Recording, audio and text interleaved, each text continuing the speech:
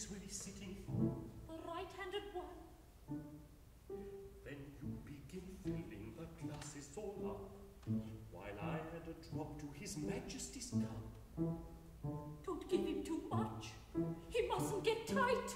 Just loosen him up and make him feel right. I think that's all right. Now add lemonade. It's much the same shape.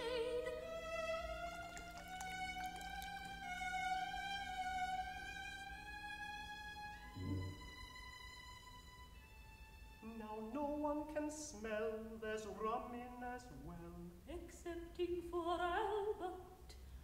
And, and he never.